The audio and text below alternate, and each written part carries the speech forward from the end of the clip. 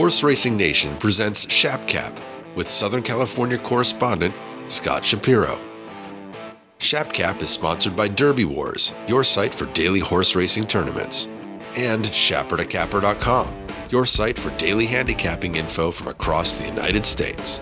Hey, racing fans, welcome back to the final Kentucky Derby edition of Horse Racing Nation Presents ShapCap. The draw is complete. We're all set for Saturday afternoon. Let's get right to our thoughts. Our top choice and key horse in the trifectas this year, first, second, and third slots, will be number 11, Exaggerator. The California based horse. We had our questions about whether he could get the distance. The mile and a quarter may be a little bit pushing it, but he is coming into the race so well, he will be our top choice in the 2016 Derby.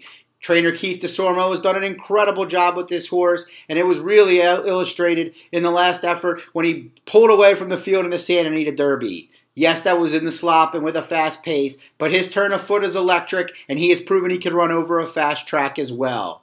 Yes, Keith Kent Desormeaux has had questionable rides in the past, but he is riding incredibly of late, probably as good as anyone in the country. I think he has a big shot to get his fourth Kentucky Derby victory, of course, with Real Quiet, Fusaichi Pegasus, and Big Brown before it. Number 11, Exaggerator, our top choice in this year's Derby. For second, Let's go with number three, Creator. This horse coming off an Arkansas Derby win for Steve Asmussen, the new Hall of Famer, and jockey Ricardo Santana Jr. He will need a perfect trip like he got in that Arkansas Derby, but it's not out of the question with Santana in an inside draw. If he can avoid traffic early, he should be rolling late. Love this one's turn of foot. Creator, number three for second. For third, let's go with number 19, Brody's Cause. Brody's Cause was my top pick before the draw today, but that 19 post really hinders his chances.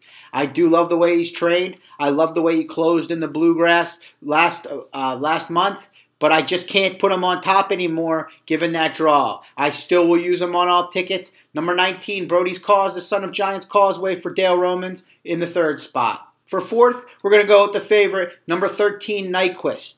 Yes, this horse could definitely win the race, but 3 to 1 is a little too short for me, and I'm a little concerned about being inside the two speeds. If Mario Gutierrez can relax him off of the pace of Danzing Candy and outwork, and he gets a perfect trip, he may be tough to beat in the lane, but pedigree concerns and the way he finished in the Florida Derby have me thinking an underneath finish is more likely. I'm going to put him in the four hole, and we could really score out if we can hit the trifecta without him.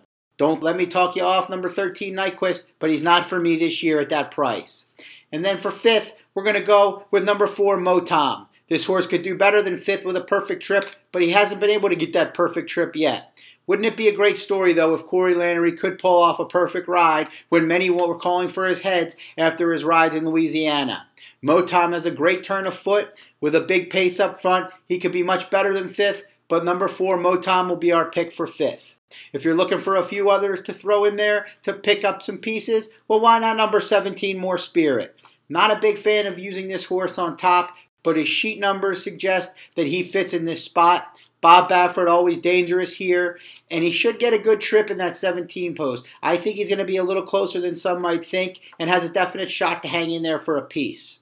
How about number 10, Whitmore? How can you go wrong with Victor Espinoza in the Derby? Well, I don't think Espinoza has much of a shot of winning this race, but I can always pull for trainer Ron Moquette, and I think he has an excellent shot to pick up the pieces as well. And then a horse that I'm on that many others aren't, number 16, Shagaf.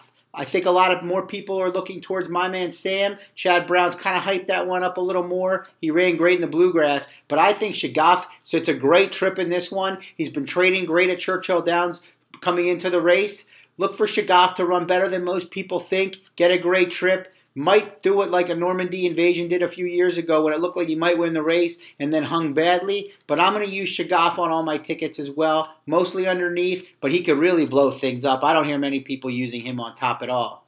And then I like a late runner number sudden number two, sudden breaking news to have a shot for a piece as well. Not crazy about the connections being able to win this race and with him being able to time it perfectly, but I think sudden breaking news has a nice spurtability late, great turn of foot. If they go fast up front, maybe number two sudden breaking news could get in for a piece.